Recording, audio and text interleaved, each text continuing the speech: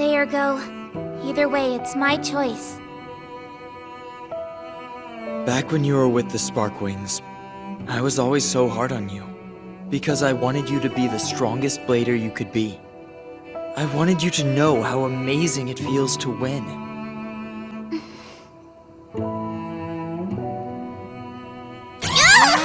Why can't you understand? I've told you, there's way more to blading than just being the strongest one. You seriously still believe that? I've had enough! Huh? If you think everything goes exactly like you've planned, I've got news for you! Uh, uh, mm, each. Nope! The Fumiya show is cancelled! Cancelled!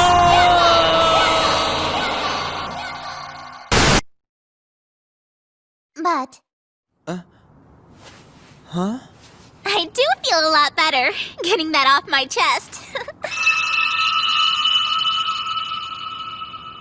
now this conversation's over. I'm not giving up. Huh? I will make sure to bring you back to the Sparkwings. No matter how much you fight me.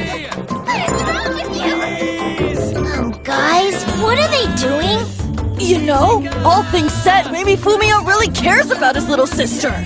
Oh, think so? Yeah, sure. Maybe he'll turn out to be a good guy. Not a chance! Sis, wait!